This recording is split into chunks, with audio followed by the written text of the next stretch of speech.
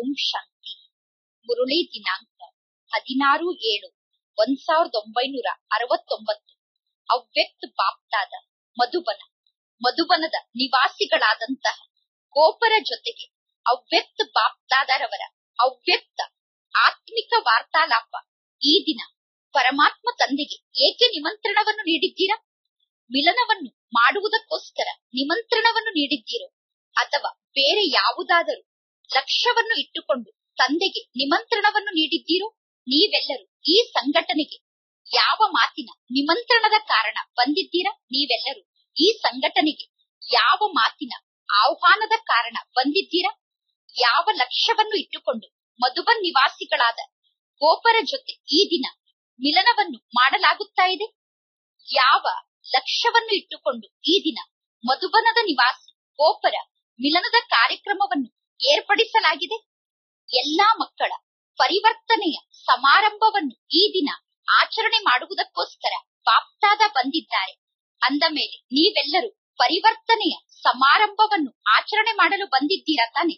ಬಟ್ಟಿಯಲ್ಲಿ ಏಕೆ ಕುಳಿತುಕೊಂಡಿದ್ದೀರಾ? ಪರಿವರ್ತನೆ ಆಗುವುದಕ್ಕೋಸ್ಕರ. ಅಂದ ಮೇಲೆ ಇಂದು ಪರಿವರ್ತನೆಯ ಸಮಾರಂಭದಲ್ಲಿ ಮಿಲನವನ್ನು ಮಾಡುತ್ತಿದ್ದೀರಾ? ಎಲ್ಲರಲ್ಲೂ ಬಹಳ ಚೆನ್ನಾಗಿ ಪರಿವರ್ತನೆ ಆಗಲೇಬೇಕು ಅನ್ನುವ ಉತ್ಸಾಹ ಕೂಡ ಇದೆ. ಪರಿವರ್ತನೆ ಆಗಬೇಕು ಅನ್ನುವ ಉತ್ಸಾಹ ಕೂಡ ಮಕ್ಕಳಲ್ಲಿ ಇದೆ. ಮತ್ತು ಪರಿವರ್ತನೆ ಆಗುವಂತಹ ಧೈರ್ಯ ಅಥವಾ ಸಾಹಸ ಕೂಡ ಮಕ್ಕಳಲ್ಲಿ ಇದೆ. ಈ ದಿನದ ಪಟ್ಟಿಯ ಚಾರ್ಟ್ನಲ್ಲಿ ಎಲ್ಲಾ ಮಕ್ಕಳಿಗೂ ಪರಿವರ್ತನೆ ಆಗಬೇಕು ಅನ್ನುವ ಉತ್ಸಾಹ ಮತ್ತು ಸಾಹಸ ಇದೆ ಅನ್ನುವುದು ಕಾಣಿಸುತ್ತಿದೆ. ಗೋಪರಲ್ಲಿ ಪರಿವರ್ತನೆ ಆಗಬೇಕು ಅನ್ನುವ ಉತ್ಸಾಹ ಏನಿದೆ, ಆ ಉತ್ಸಾಹದಲ್ಲಿ ನಿಮಗೆ ಯಾವ ಯಾವ ಮಾತು ಕಾಣಿಸುತ್ತಿದೆ ಎಂದು ಬಾಬಾ ಕುಮಾರಿಕಾ ದಾದಿಗೆ ಕೇಳುತ್ತಿದ್ದಾರೆ. ಅಂದರೆ ಪ್ರಕಾಶ್ಮಣಿ ದಾದಿಗೆ ಕೇಳುತ್ತಿದ್ದಾರೆ. ಹೇಗೆ? ಚಂಡಮಾರುತವನ್ನು ನೋಡಿದಾಗ ಈಗ ಮಳೆ ಬರುತ್ತದೆ ಎಂದು ಗೊತ್ತಾಗುತ್ತದೆ. ಅದೇ ರೀತಿ ಈ ಪರಿವರ್ತನೆ ಆಗುವ ಉತ್ಸಾಹದಲ್ಲಿ ನಿಮಗೆ ಯಾವ ಮಾತು ಕಾಣಿಸುತ್ತಿದೆ? ಪರಿವರ್ತನೆ ಯಾವ ಮಾತಿನ ಪರಿಚಯವನ್ನು ನೀಡುತ್ತಾ ಇದೆ?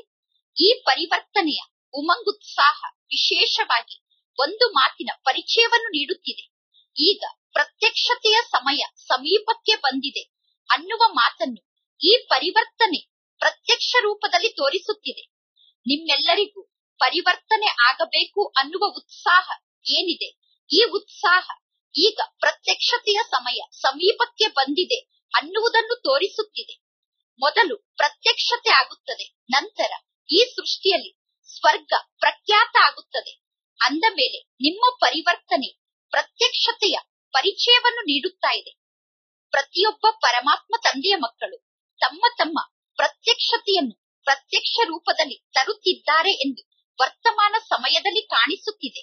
ಮೊದಲು ಪ್ರತ್ಯಕ್ಷತೆ ಗುಪ್ತ ರೂಪದಲ್ಲಿ ಇತ್ತು. ಹೇಗೆ?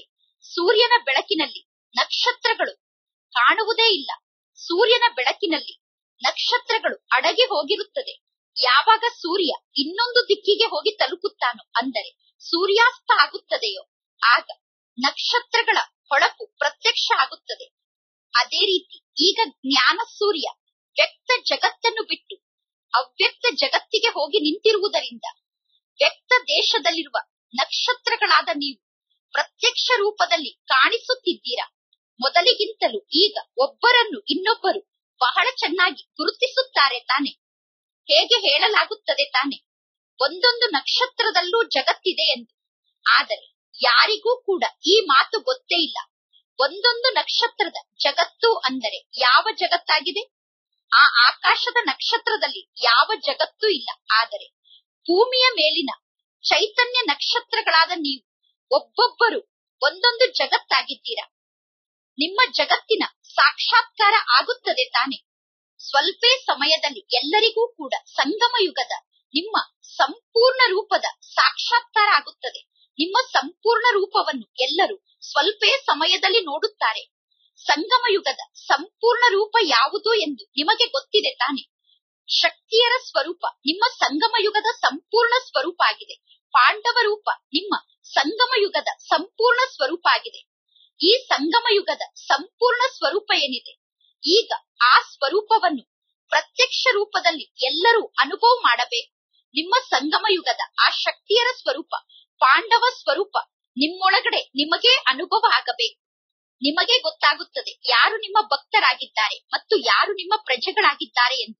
ಯಾರು ನಿಮ್ಮ ಪ್ರಜೆ ಆಗಿದ್ದಾರೋ, ಅವರು ನಿಮ್ಮ ಸಮೀಪಕ್ಕೆ ಬರುತ್ತಾರೆ ಮತ್ತು ಯಾರು ನಿಮ್ಮ ಭಕ್ತರಾಗಿದ್ದಾರೋ, ಕೊನೆಗೂ ಅವರು ಅಂತ್ಯದಲ್ಲಿ ನಿಮ್ಮ ಕಾಲಿಗೆ ಬಂದು ನಮಸ್ಕಾರವನ್ನು ಮಾಡುತ್ತಾರೆ. ಅಂದ ಮೇಲೆ ಪ್ರತಿಯೊಂದು ನಕ್ಷತ್ರದ ಒಳಗಡೆ ಏನು ರಾಜ್ಯದಾನಿ ಇದೆಯೋ, ಏನು ಜಗತ್ತು ನಿರ್ಮಾಣ ಆಗಿದೆಯೋ ಅದು ಈಗ ಪ್ರತ್ಯಕ್ಷ ರೂಪದಲ್ಲಿ ಎಲ್ಲರಿಗೂ ಕಾಣಿಸುತ್ತದೆ. ಯಾವಾಗ ಈ ಪ್ರತ್ಯಕ್ಷತೆ ಆಗುತ್ತದೆಯೋ ಆಗ ಎಲ್ಲರೂ, ಹೇ ಪ್ರಭು, ನಿನ್ನ ಲೀಲೆ ಎಂದು ಕೂಗಲು ಪ್ರಾರಂಭ ಮಾಡುತ್ತಾರೆ. ಈಗ ಆ ಸಮಯ ಸಮೀಪಕ್ಕೆ ಬರುತ್ತಾ ಇದೆ. ಆದ್ದರಿಂದ ಬೇಗ ಪರಿವರ್ತನೆಯನ್ನು ಮಾಡಿಕೊಳ್ಳಬೇಕು. ನೀವೆಲ್ಲರೂ ರಚಯಿತ ಆಗಿದ್ದೀರಾ? ರಚಯಿತ ಹೇಗಿರುತ್ತಾರೋ ಅವರ ರಚನೆ ಅದೇ ರೀತಿ ಇರುತ್ತದೆ. ರಚಯಿತನಿಗೆ ತಮ್ಮ ರಚನೆಯ ಕಡೆ ಗಮನ ಇರುತ್ತದೆ ತಾನೆ. ಈ ಸಮಯದಲ್ಲಿ ಬಾಪ್ತಾದರವರಿಗೆ ಒಂದು ಮಾತಿನ ಖುಷಿ ಆಗುತ್ತಾ ಇದೆ. ಸ್ನೇಹ ಮತ್ತು ಸಾಹಸ ಈ ಎರಡೂ ಮಾತನ್ನು ನೋಡಿ ಬಾಪ್ತಾದ ಖುಷಿ ಪಡುತ್ತಿದ್ದಾರೆ. ಪ್ರತಿಯೊಬ್ಬರಿಗೂ ತಂದೆಯ ಬಗ್ಗೆ ಸ್ನೇಹ ಇದೆ ಮತ್ತು ಪ್ರತಿಯೊಂದು ಮಗುವಿನಲ್ಲೂ ಸಾಹಸ ಅಂದರೆ ಧೈರ್ಯ ಇದೆ. ಈಗ ಕೇವಲ ಬೀಜ ಅಷ್ಟೇ ಕಾಣಿಸುತ್ತಿಲ್ಲ, ಆದರೆ ಬೀಜದ ಮೂಲಕ ಸ್ವಲ್ಪ ಪ್ರತ್ಯಕ್ಷ ಫಲ ಕೂಡ ಕಾಣಿಸುತ್ತಿದೆ. ಆ ಪ್ರತ್ಯಕ್ಷ ಫಲವನ್ನು ನೋಡಿ ಬಾಬಾ ಖುಷಿ ಪಡುತ್ತಿದ್ದಾರೆ. ಆದರೆ ಫಲ ಬಿಟ್ಟಾಗ ಆ ಫಲವನ್ನು ತುಂಬಾ ಎಚ್ಚರಿಕೆಯಿಂದ ರಕ್ಷಣೆ ಮಾಡಬೇಕಾಗುತ್ತದೆ. ಹಾಗೆ ನೀವು ಕೂಡ ಈ ಫಲವನ್ನು ಬಹಳಷ್ಟು ರಕ್ಷಣೆ ಮಾಡಬೇಕಾಗುತ್ತದೆ. ಏಕೆಂದರೆ ಈ ಫಲವನ್ನು ಬಾಪ್ತಾದರವರಿಗೆ ಸ್ವೀಕಾರ ಮಾಡಿಸಬೇಕು. ಮಾಯೆ ಅನ್ನುವ ಪಕ್ಷಿ ಈ ಫಲವನ್ನು ಎಂಜುಲು ಮಾಡಬಾರದು. ಅದಕ್ಕೋಸ್ಕರ ಬಹಳಷ್ಟು ಎಚ್ಚರಿಕೆ ಇರಬೇಕು. ಯಾವಾಗ ಫಲ ಪರಿಪಕ್ವ ಆಗುತ್ತದೆಯೋ ಆಗ ಹಕ್ಕಿಗಳು ಅದನ್ನು ತಿನ್ನಲು ಬಹಳಷ್ಟು ಪ್ರಯತ್ನ ಮಾಡುತ್ತದೆ. ಹಾಗೆ ಇಲ್ಲಿ ಮಾಯೆ ಕೂಡ ಈ ಫಲವನ್ನು ತಿನ್ನಲು ಬಹಳಷ್ಟು ಪ್ರಯತ್ನ ಮಾಡುತ್ತದೆ. ಆದರೆ ನೀವು ಯಾರಿಗೋಸ್ಕರ ಈ ಫಲವನ್ನು ಪರಿಪಕ್ವ ಮಾಡಿದ್ದೀರಾ? ಅನ್ನುವುದನ್ನು ನೆನಪಿನಲ್ಲಿ ಇಟ್ಟುಕೊಂಡು ಅವರಿಗೋಸ್ಕರ ಫಲವನ್ನು ಪೂರ್ತಿ ರಕ್ಷಣೆ ಮಾಡಬೇಕು. ಈಗ ತಾನೇ ಫಲ ಬಿಟ್ಟಿದೆ. ಆದರೆ ಆ ಫಲ ಪರಿಪಕ್ವ ಆಗಬೇಕು.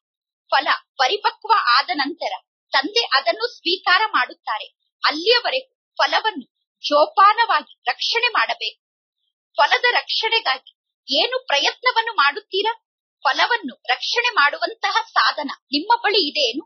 ಫಲ ಸ್ವಲ್ಪ ಎಂಜಲಾದರೂ ಕೂಡ ಪರಮಾತ್ಮ ತಂದೆ ಅದನ್ನು ಸ್ವೀಕಾರ ಮಾಡುವುದಿಲ್ಲ. ಈಗ ಭರವಸೆ ಬಹಳ ಚೆನ್ನಾಗಿ ಇದೆ. ಎಲ್ಲರ ಮಸ್ತಕದ ಮಧ್ಯದಲ್ಲಿ ಆತ್ಮ ನಕ್ಷತ್ರ ಕಾಣಿಸುತ್ತಿದೆ. ಆದರೆ ಅದರ ಜೊತೆ ಜೊತೆಗೆ ಮಸ್ತಕದಲ್ಲಿ ಇನ್ನು ಯಾವ ಮಾತು ಹೊಳೆಯುತ್ತಿದೆ ಆತ್ಮ ಜ್ಯೋತಿ ಹೊಳೆಯುತ್ತಿರುವುದರ ಜೊತೆ ಜೊತೆಗೆ ಭರವಸೆಯ ನಕ್ಷತ್ರ ಹೊಳೆಯುತ್ತಿರುವುದನ್ನು ಬಾಪ್ತಾದ ನೋಡುತ್ತಿದ್ದಾರೆ. ಕೇವಲ ನಕ್ಷತ್ರದ ಮುಂದೆ ಮೋಡ ಬರಬಾರದು. ನಕ್ಷತ್ರದ ಮುಂದೆ ಮೋಡ ಬಂದರೆ ನಕ್ಷತ್ರ ಕಾಣುವುದೇ ಇಲ್ಲ. ಮೋಡ ನಕ್ಷತ್ರ ಕಾಣದಂತೆ ಮಾಡಿಬಿಡುತ್ತದೆ. ಈಗ ಆ ಭರವಸೆಯ ನಕ್ಷತ್ರ ಹೊಳೆಯುತ್ತಿರುವುದು ತಂದೆಗೆ ಕಾಣಿಸುತ್ತಿದೆ. ಇದರ ಪಾಲನೆಯನ್ನು ಮಾಡುತ್ತಾ ಇರಿ. ಯಾವಾಗ ಯಾವುದೇ ಕಾರ್ಯವನ್ನು ಮಾಡುತ್ತಿರಬಹುದು, ಸ್ಥೂಲ ಕಾರ್ಯ ಇರಬಹುದು ಅಥವಾ ಸೂಕ್ಷ್ಮ ಕಾರ್ಯ ಇರಬಹುದು ಎಂದೂ ಕೂಡ ಧೈರ್ಯವನ್ನು ಕಳೆದುಕೊಳ್ಳಬಾರದು. ಮತ್ತು ಪರಸ್ಪರರ ಬಗ್ಗೆ ಸ್ನೇಹ ಸ್ಥಿರವಾಗಿ ಇರಬೇಕು. ಆಗ ಪಾಂಡವರ ಜೈ ಜೈಕಾರ ಆಗುತ್ತದೆ. ಈ ಜೈ ಜೈಕಾರದ ನಗಾರೆಯ ಶಬ್ದ ಕೇಳಿಸುತ್ತಿದೆ ತಾನೆ. ಈಗ ಒಮ್ಮೆ ಒಂದು ರೀತಿ ಇರುತ್ತೀರಾ? ಇನ್ನೊಮ್ಮೆ ಇನ್ನೊಂದು ರೀತಿ ಇರುತ್ತೀರಾ? ಯಾವಾಗ ಜೈ ಜೈಕಾರ ಆಗುತ್ತದೆಯೋ ಆಗ ಈ ಅನೇಕತೆಯ ನಾಟಕ ಸಮಾಪ್ತಿ ಆಗುತ್ತದೆ ಆಗ ನಿಮ್ಮೆಲ್ಲರ ಅವ್ಯಕ್ತ ಸ್ಥಿತಿಯ ಬಾವುಟ ದೂರದಿಂದಲೇ ಎಲ್ಲರಿಗೂ ಕಾಣಿಸುತ್ತದೆ. ನಿಮ್ಮೆಲ್ಲರ ಅವ್ಯಕ್ತ ಸ್ಥಿತಿ, ಏಕರಸ ಸ್ಥಿತಿಯ ಬಾವುಟ ಇಡೀ ವಿಶ್ವದಲ್ಲಿ ಹಾರುತ್ತಿರುವುದು ಆಗ ಕಾಣಿಸುತ್ತದೆ. ಇಂದು ಪರಿವರ್ತನೆಯ ಪ್ರತಿಜ್ಞೆಯನ್ನು ಮಾಡುವ ಕಂಕಣವನ್ನು ಕಟ್ಟಿಕೊಂಡಿದ್ದೀರಾ? ಇದನ್ನು ಅವಿನಾಶಿಯಾಗಿ ಇಟ್ಟುಕೊಳ್ಳಿ. ಈಗೇನು ಪರಿವರ್ತನೆ ಆಗಬೇಕು ಅನ್ನುವ ಪ್ರತಿಜ್ಞೆಯ ಕಂಕಣವನ್ನು ಕಟ್ಟಿಕೊಂಡಿದ್ದೀರೋ, ಅದನ್ನು ಅವಿನಾಶಿ ರೂಪದಲ್ಲಿ ಇಟ್ಟುಕೊಳ್ಳಿ. ಕಂಕಣವನ್ನು ತೆಗೆಯಬೇಡಿ. ಯಾವುದಾದರೂ ಒಂದು ಕಾರ್ಯಕ್ಕೋಸ್ಕರ ಕಂಕಣವನ್ನು ಕಟ್ಟಿಕೊಂಡರೆ ಎಲ್ಲಿಯವರೆಗೂ ಆ ಕಾರ್ಯ ಸಫಲ ಆಗುವುದಿಲ್ಲವೋ ಅಲ್ಲಿಯವರೆಗೂ ಆ ಕಂಕಣವನ್ನು ಬಿಚ್ಚಲು ಸಾಧ್ಯ ಇಲ್ಲ. ಹಾಗೆ ನೀವು ಕೂಡ ಪ್ರತ್ಯಕ್ಷತೆಯ ಧ್ವಜ ಹಾರುವವರೆಗೂ ಈ ಕಂಕಣವನ್ನು ತೆಗೆಯಬಾರದು. ಮುಂದೆ ಹೋದಂತೆ ಅನೇಕ ಒಳ್ಳೆಯ ದೃಶ್ಯಗಳು ಕೂಡ ಕಾಣಿಸುತ್ತದೆ. ಆದರೆ ನಿಮ್ಮ ಪರಿವರ್ತನೆಯ ಆಧಾರದಿಂದ ಅಂತಹ ಒಳ್ಳೆಯ ದೃಶ್ಯಗಳು ಕಾಣಿಸುತ್ತದೆ. ನಿಮ್ಮ ಬೆಲೆ ನಿಮಗೆ ಗೊತ್ತಿದೆ ತಾನೆ ಯಾವಾಗ. ನಿಮ್ಮ ಬೆಲೆ ನಿಮಗೆ ಗೊತ್ತಾಗುತ್ತದೆಯೋ ಆಗ ನಶೆ ಇರುತ್ತದೆ ಈಗ ಒಮ್ಮೆ ನಿಮ್ಮ ಬಗ್ಗೆ ನಿಮಗೆ ಒಂದು ರೀತಿ ಬೆಲೆ ಇರುತ್ತದೆ. ಇನ್ನೊಮ್ಮೆ ನೀವು ಇನ್ನೊಂದು ರೀತಿ ಬೆಲೆಯನ್ನು ಇಟ್ಟುಕೊಳ್ಳುತ್ತೀರಾ. ನಿಮ್ಮ ಬಗ್ಗೆ ನೀವು ಬೆಲೆಯನ್ನು ಇಟ್ಟುಕೊಳ್ಳುವ ಮಾತಿನಲ್ಲೂ ಕೂಡ ಏರುಪೇರಿನಲ್ಲಿ ಬರುತ್ತಿದ್ದೀರಾ. ಸ್ವಯಂನ ಬಗ್ಗೆ ಬೆಲೆಯನ್ನು ಇಟ್ಟುಕೊಳ್ಳುವ ಮಾತಿನಲ್ಲಿ, ಸ್ವಯಂನ ಮೌಲ್ಯವನ್ನು ಅರ್ಥ ಮಾಡಿಕೊಳ್ಳುವ ಮಾತಿನಲ್ಲಿ ಈಗ ವ್ಯತ್ಯಾಸ ಆಗುತ್ತಾ ಇದೆ. ಹೇಗೆ ಯಾವುದಾದರೂ ವಸ್ತುವನ್ನು ಹೊಸದಾಗಿ ತಯಾರು ಮಾಡಿದಾಗ ಮೊದಲು ಅದರ ಬೆಲೆ ಸ್ವಲ್ಪ ಹೆಚ್ಚು ಕಡಿಮೆ ಆಗುತ್ತದೆ. ನಂತರ ಕೊನೆಯಲ್ಲಿ ಅದರ ಬೆಲೆ ಕರೆಕ್ಟ್ ಆಗಿ ಫಿಕ್ಸ್ ಆಗಿ ಬಿಡುತ್ತದೆ. ನಿಮ್ಮ ಅಂತಿಮ ಬೆಲೆ ಏನಾಗಿದೆ ಎಂದು ಇನ್ನೂ ನಿಮಗೆ ಗೊತ್ತಿಲ್ಲ. ಒಮ್ಮೆ ಬಹಳಷ್ಟು ಬೆಲೆ ಬಾಳುವಂತಹ ಆತ್ಮ ನಾನು ಎಂದು ನೀವು ತಿಳಿದುಕೊಳ್ಳುತ್ತೀರಾ? ಇನ್ನೊಮ್ಮೆ ಸ್ವಯಂನ ಬೆಲೆ ಬಹಳ ಕಡಿಮೆ ಇದೆ ಎಂದು ತಿಳಿದುಕೊಳ್ಳುತ್ತೀರಾ? ಆದರೆ ಪ್ರತಿಯೊಬ್ಬರ ಯಥಾರ್ಥ ಮೌಲ್ಯ ಏನಾಗಿದೆ ಅನ್ನುವುದು ಶೀಘ್ರವಾಗಿ ಎಲ್ಲರಿಗೂ ಗೊತ್ತಾಗುತ್ತದೆ. ನೀವೀಗ ಯಾವ ಸ್ಥಾನದಲ್ಲಿ ಕುಳಿತುಕೊಂಡಿದ್ದೀರೋ, ಈ ಮಧುಬನ ಸೃಷ್ಟಿಯ ಮಧ್ಯದಲ್ಲಿ ಏನಾಗಿದೆ? ಮಧುಬನ ಇಡೀ ಸೃಷ್ಟಿಯ ಮಧ್ಯದಲ್ಲಿ ಪಾಪ್ತಾದ ಬಹಳ ಪ್ರೀತಿಯಿಂದ ನಿರ್ಮಾಣ ಮಾಡಿರುವ ಶೋಕೇಶ್ ಆಗಿದೆ. ಹೇಗೆ? ಶೋಕೇಶ್ನಲ್ಲಿ ಬಹಳ ಒಳ್ಳೊಳ್ಳೆಯ ವಸ್ತುವನ್ನು ಇಡುತ್ತಾರೆ ಮತ್ತು ಎಲ್ಲಾ ವಸ್ತುಗಳಿಗಿಂತ ಉತ್ತಮವಾದ ವಸ್ತುವನ್ನು ಶೋಕೇಶ್ನಲ್ಲಿ ಇಡುತ್ತಾರೆ. ಹಾಗೆ ಮಧುಬನ ಇಡೀ ಜಗತ್ತಿಗೋಸ್ಕರ ಶೋಕೇಶ್ ಆಗಿದೆ ಈ ಶೋಕೇಶ್ನಲ್ಲಿ ನೀವೆಲ್ಲರೂ ಅಮೂಲ್ಯ ರತ್ನಗಳು ಇದ್ದೀರಾ? ಮಧುಬನ ಅನ್ನುವ ಶೋಕೇಶ್ನಲ್ಲಿ ಅಮೂಲ್ಯ ರತ್ನ ಆಗಿರುವ ನಿಮ್ಮನ್ನು ಇಡಲಾಗಿದೆ. ನೀವು ಮಧುಬನ ಅನ್ನುವ ಶೋಕೇಶ್ ನಲ್ಲಿರುವ ಅಮೂಲ್ಯ ರತ್ನ ಆಗಿದ್ದೀರಾ? ಎನ್ನುವುದು ನಿಮಗೆ ಗೊತ್ತಿದೆ ತಾನೆ. ಶೋಕೇಶ್ನಲ್ಲಿ ಯಾವ ವಸ್ತುವನ್ನು ಇಡುತ್ತಾರೋ ಆ ವಸ್ತುಗಳ ಬಗ್ಗೆ ವಿಶೇಷ ಗಮನ ಇರುತ್ತದೆ. ನೀವೆಲ್ಲರೂ ಕೂಡ ಶೋಕೇಶ್ ನಲ್ಲಿರುವ ಮುಖ್ಯ ರತ್ನ ಆಗಿದ್ದೀರಾ? ನಿಮ್ಮನ್ನು ನೋಡಿ. ಈ ಶೋಕೇಶ್ನ ಒಳಗಡೆ ಯಾವ ವಸ್ತು ಇದೆ ಎಂದು ಎಲ್ಲರಿಗೂ ಗೊತ್ತಾಗುತ್ತದೆ. ಒಂದು ವೇಳೆ ನೀವು ಒಂದು ಮಾತನ್ನು ನೆನಪಿಟ್ಟುಕೊಂಡರೆ ಶೋಕೇಶ್ನಿಂದ ಎಲ್ಲಾ ವಸ್ತುಗಳ ಶೋ ಮಾಡುವಂತವರು ಆಗುತ್ತೀರಾ? ಒಂದು ಮಾತನ್ನು ನೀವು ನೆನಪಿಟ್ಟುಕೊಂಡರೆ ಶೋಕೇಶ್ ನಲ್ಲಿರುವ ಎಲ್ಲಾ ವಸ್ತುವನ್ನು ಪ್ರದರ್ಶನ ಮಾಡುವಂತವರಾಗುತ್ತೀರಾ? ಯಾವ ಕರ್ಮವನ್ನು ನಾನು ಮಾಡುತ್ತೇನೋ ನನ್ನನ್ನು ನೋಡಿ ಎಲ್ಲರೂ ಮಾಡುತ್ತಾರೆ. ಅನ್ನುವ ಒಂದು ಮಾತನ್ನು ನೆನಪಿಟ್ಟುಕೊಳ್ಳಿ. ಪ್ರತಿಯೊಬ್ಬರೂ ತಿಳಿದುಕೊಳ್ಳಬೇಕು. ಇಲ್ಲಿ ನಾನು ಒಂಟಿಯಾಗಿ ಇಲ್ಲ. ನನ್ನ ಹಿಂದೆ, ನನ್ನ ಮುಂದೆ ಸಂಪೂರ್ಣ ರಾಜ್ಯದಾನಿ ಇದೆ. ನನ್ನ ಪ್ರಜೆಗಳು ಇದ್ದಾರೆ. ನನ್ನ ಭಕ್ತರು ನನ್ನನ್ನು ನೋಡುತ್ತಿದ್ದಾರೆ. ನನ್ನ ಪ್ರಜೆಗಳು ನನ್ನನ್ನು ನೋಡುತ್ತಿದ್ದಾರೆ. ಇಲ್ಲಿ ನಾನು ಒಂಟಿಯಾಗಿ ಇಲ್ಲ. ಒಂಟಿಯಾಗಿ ಯಾವ ಕೆಲಸವನ್ನು ಮಾಡುತ್ತಾರೋ, ಅದರ ಬಗ್ಗೆ ವಿಚಾರವನ್ನು ಮಾಡುವುದಿಲ್ಲ. ಈಗ ನೀವು ಸ್ವಯಂ ಅನ್ನು ನಿಮ್ಮ ಪ್ರಜೆಗಳ ಮಧ್ಯದಲ್ಲಿ ಇದ್ದೇನೆ ಎಂದು ತಿಳಿದುಕೊಳ್ಳಿ. ಭಕ್ತರ ಮಧ್ಯದಲ್ಲಿ ನಾನಿದ್ದೇನೆ ಎಂದು ತಿಳಿದುಕೊಳ್ಳಿ. ಅವರೆಲ್ಲರೂ ನಿಮ್ಮನ್ನೇ ಅನುಕರಣೆ ಮಾಡುತ್ತಾರೆ. ನೀವು ಸೆಕೆಂಡ್ ಸೆಕೆಂಡಿಗೂ ಯಾವ ಯಾವ ಹೆಜ್ಜೆಯನ್ನು ಇಡುತ್ತೀರೋ ಅಂತದ್ದೇ ಸಂಸ್ಕಾರವನ್ನು ನಿಮ್ಮ ಭಕ್ತರು, ನಿಮ್ಮ ಪ್ರಜೆಗಳು ತುಂಬಿಕೊಳ್ಳುತ್ತಾ ಹೋಗುತ್ತಾರೆ. ಹೇಗೆ? ತಾಯಿಯ ಗರ್ಭದಲ್ಲಿ ಮಗು ಇದ್ದಾಗ ತಾಯಿ ಎಷ್ಟೊಂದು ಎಚ್ಚರಿಕೆಯಿಂದ ಇರುತ್ತಾರೆ. ಏಕೆಂದರೆ ತಾಯಿ ಏನನ್ನು ಮಾಡುತ್ತಾಳೋ, ಏನನ್ನು ತಿನ್ನುತ್ತಾಳೋ ಆ ಸಂಸ್ಕಾರ ಮಗುವಿನಲ್ಲೂ ಸೇರಿಕೊಳ್ಳುತ್ತದೆ. ಹಾಗೆ ನೀವೆಲ್ಲರೂ ಯಾವ ಮಾತಿನ ಗಮನವನ್ನು ಇಟ್ಟುಕೊಳ್ಳಬೇಕು ಅಂದರೆ ನಾನು ಎಂತಹ ಕರ್ಮವನ್ನು ಮಾಡುತ್ತೇನೋ, ನನ್ನನ್ನು ನೋಡಿ, ನನ್ನ ಪ್ರಜೆಗಳು, ಆ ದ್ವಾಪರ ಯುಗ ಕಲಿಯುಗದಲ್ಲಿ ಬರುವಂತಹ ನನ್ನ ಭಕ್ತರು ಅದನ್ನೇ ಅನುಕರಣೆ ಮಾಡುತ್ತಾರೆ. ಮಂದಿರವೂ ಕೂಡ ಅಂಥದ್ದೇ ನಿರ್ಮಾಣ ಆಗುತ್ತದೆ. ನಾನೀಗ ಎಂತಹ ಕರ್ಮವನ್ನು ಮಾಡುತ್ತೇನೋ, ನನ್ನ ಭಕ್ತರು ಅಂತಹ ಮಂದಿರವನ್ನು ನಿರ್ಮಾಣ ಮಾಡುತ್ತಾರೆ. ನನ್ನ ಮೂರ್ತಿ ಕೂಡ ಈ ಸಮಯದ ನನ್ನ ಕರ್ಮಕ್ಕನುಸಾರವಾಗಿ ರಚನೆ ಆಗುತ್ತದೆ. ಈಗ ನಾನು ಎಂತಹ ಕರ್ಮವನ್ನು ಮಾಡುತ್ತೇನೋ ದ್ವಾಪರಯುಗ ಕಲಿಯುಗದಲ್ಲಿ ನನ್ನ ಭಕ್ತರು ಅಂತಹ ಮೂರ್ತಿಯನ್ನು ನಿರ್ಮಾಣ ಮಾಡುತ್ತಾರೆ. ಈಗ ನಾನು ಎಂತಹ ಕರ್ಮವನ್ನು ಮಾಡುತ್ತೇನೋ ದ್ವಾಪರಯುಗ ಕಲಿಯುಗದಲ್ಲಿ ನನ್ನ ಮಂದಿರ ಅಂತಹ ಸ್ಥಾನದಲ್ಲಿ ಇರುತ್ತದೆ. ಅಂತಹ ಸ್ಥಾನದಲ್ಲಿ ನನ್ನ ಭಕ್ತರು ನನ್ನ ಮಂದಿರವನ್ನು ನಿರ್ಮಾಣ ಮಾಡುತ್ತಾರೆ. ಆದ್ದರಿಂದ ಸದಾ ಮನಸ್ಸಿನಲ್ಲಿ ಈ ಮಾತನ್ನು ನೆನಪಿನಲ್ಲಿ ಇಟ್ಟುಕೊಳ್ಳಿ. ಇಲ್ಲಿ ನಾನು ಒಂಟಿಯಾಗಿಲ್ಲ. ಮಾಸ್ಟರ್ ರಚಯಿತ ಆದಂತಹ ನನ್ನ ಜೊತೆಗೆ ನನ್ನ ಸಂಪೂರ್ಣ ರಚನೆ ಇದೆ.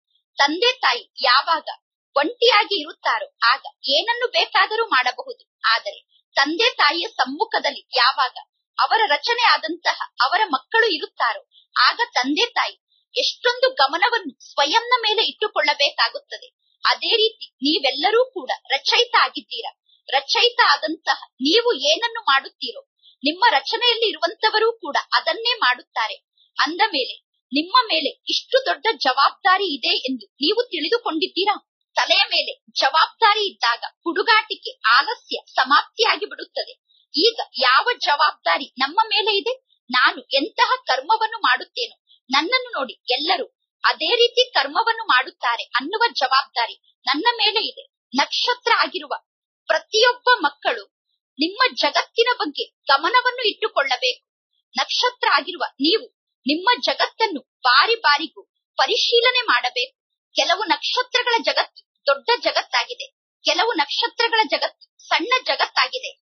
ಜೀವನ ಪರ್ಯಂತ ನೆನಪಾರ್ಥವಾಗಿ ಉಳಿದುಕೊಳ್ಳಬೇಕು ಎಂದು ಸಮಾರಂಭವನ್ನು ಆಚರಣೆ ಮಾಡಲಾಗುತ್ತದೆ. ಆದ್ದರಿಂದ ಈಗ ಈ ದಿನ ಈ ಸಮಾರಂಭವನ್ನು ಆಚರಣೆ ಮಾಡಲಾಗುತ್ತಾ ಇದೆ. ಈ ದಿನ ನೆನಪಾರ್ಥವಾದ ದಿನ ಆಗಿದೆ.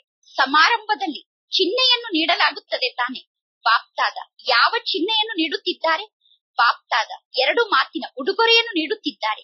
ವಿಶೇಷವಾಗಿ ಮಧುಬನದ ನಿವಾಸಿಗಳಿಗೆ ಎರಡು ಮಾತಿನ ಉಡುಗೊರೆಯನ್ನು ನೀಡುತ್ತಿದ್ದಾರೆ. ಶಿಕ್ಷಣ ಅಂತೂ ಸಿಕ್ಕಿದೆ. ಸಾಹಸ ಮತ್ತು ಸ್ನೇಹವನ್ನು ಯಾವ ಕಾರಣಕ್ಕೂ ಬಿಡಬಾರದು. ಈಗ ತಂದೆ ಯಾವ ಉಡುಗೊರೆಯನ್ನು ನೀಡುತ್ತಿದ್ದಾರೆ? ಒಂದನೇ ಮಾತಾಗಿದೆ. ಒಬ್ಬ ಪರಮಾತ್ಮ ತಂದೆಯ ಪ್ರೀತಿಯ ಆಸಕ್ತಿಯಲ್ಲೇ ಪ್ರತಿಕ್ಷಣ ಇರಬೇಕು ಅಂದರೆ ಒಬ್ಬ ತಂದೆಯ ಜೊತೆಗೆ ಪ್ರತಿಕ್ಷಣ ಸಂಬಂಧವನ್ನು ಇಟ್ಟುಕೊಳ್ಳಬೇಕು.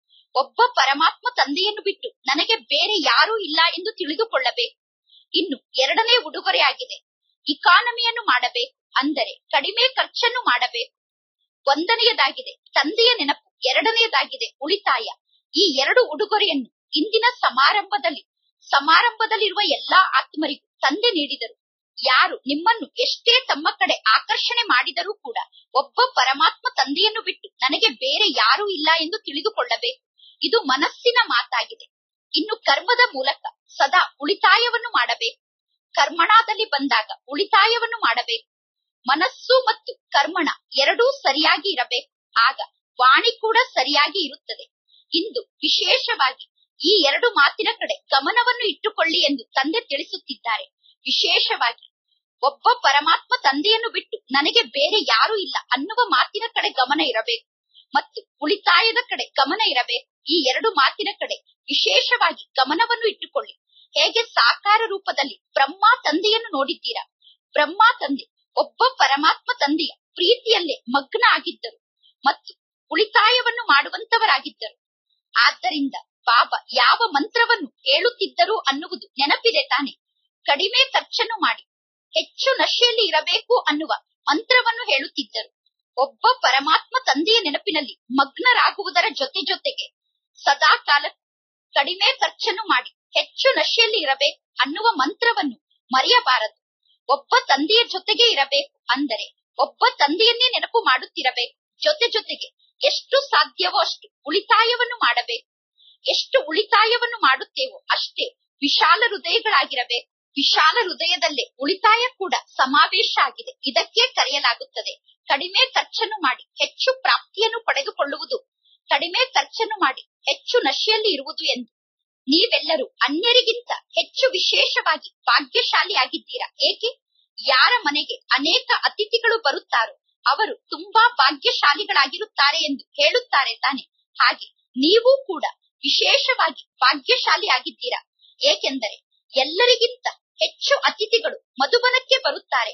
ಆದರೆ ಅತಿಥಿ ಸತ್ಕಾರವನ್ನು ಕೂಡ ಮಾಡಬೇಕಾಗುತ್ತದೆ. ಅತಿಥಿ ಸತ್ಕಾರವನ್ನು ಹೇಗೆ ಮಾಡಬೇಕು ಅಂದರೆ ಮಧುಬನಕ್ಕೆ ಬಂದಂತಹ ಆತ್ಮರು ಸಂಪೂರ್ಣ ಜಗತ್ತಿನಿಂದಲೇ ಅತಿಥಿಯಾಗಿ ಬಿಡಬೇಕು. ನಿಮ್ಮ ಅತಿಥಿ ಸತ್ಕಾರವನ್ನು ನೋಡಿ ಅವರು ಸದಾ ಕಾಲಕ್ಕೋಸ್ಕರ ಅತಿಥಿಯಾಗಿ ಬಿಡಬೇಕು.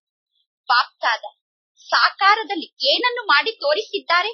ಸಾಕಾರದಲ್ಲಿದ್ದಂತಹ ಬ್ರಹ್ಮ ತಂದೆ ಒಂದೇ ದಿನದಲ್ಲಿ ಹೇಗೆ ಅತಿಥಿ ಸತ್ಕಾರವನ್ನು ಮಾಡುತ್ತಿದ್ದರು ಅಂದರೆ, ಬಾಬಾರವರ ಸಮ್ಮುಖಕ್ಕೆ ಬಂದಂತಹ ಆತ್ಮರು ಜೀವನ ಪರ್ಯಂತ ಅತಿಥಿಯಾಗಿ ಬಿಡುತ್ತಿದ್ದರು.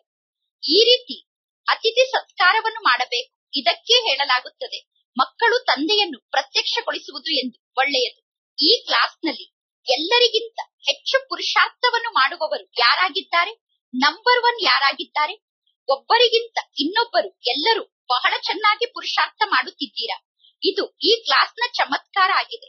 ಇದು ಇಂತಹ ಗ್ರೂಪ್ ಆಗಿದೆ. ಈ ಗ್ರೂಪ್ ನಲ್ಲಿರುವಂತಹ ಎಲ್ಲಾ ಆತ್ಮರು ನಂಬರ್ ಒನ್ ಅಲ್ಲಿ ಬರುತ್ತೇವೆ ಎಂದು ಕೈಯನ್ನು ಎತ್ತಿದ್ದೀರಾ? ನಂಬರ್ ಒನ್ ಅನ್ನು ಪಡೆದುಕೊಂಡಿದ್ದೀರಾ? ಏಕೆಂದರೆ ಎಲ್ಲರೂ ಯಾವುದಾದರೂ ಒಂದು ಮಾತಿನಲ್ಲಿ ವಿಶೇಷವಾಗಿ ಪುರುಷಾರ್ಥವನ್ನು ಮಾಡಿದ್ದೀರಾ? ಒಬ್ಬರು ಒಂದು ಮಾತಿನಲ್ಲಿ ವಿಶೇಷ ಪುರುಷಾರ್ಥವನ್ನು ಮಾಡಿದರೆ ಇನ್ನೊಬ್ಬರು ಇನ್ನೊಂದು ಮಾತಿಗೋಸ್ಕರ ವಿಶೇಷ ಪುರುಷಾರ್ಥವನ್ನು ಮಾಡಿದ್ದೀರಾ? ಆದ್ದರಿಂದ ಎಲ್ಲರೂ ನಂಬರ್ ಒನ್ ಆಗಿದ್ದೀರಾ? ಈ ಗ್ರೂಪ್ ನಲ್ಲಿರುವಂತಹ ಎಲ್ಲಾ ಆತ್ಮರು ನಂಬರ್ ಒನ್ ಆಗುವಂತಹ ಸೀಲನ್ನು ಸದಾ ಹಾಕಿಸಿಕೊಂಡಿದ್ದೀರಾ ತಾನೆ? ನಂಬರ್ ಒನ್ ಆತ್ಮ ನಾನು ಅನ್ನುವ ಮುದ್ರೆಯನ್ನು ಎಂದೂ ಮರೆಯಬೇಡಿ. ನಂಬರ್ ಒನ್ ನಾನು ಅನ್ನುವ ಸೀಲನ್ನು ಎಂದೂ ಮರೆಯಬೇಡಿ.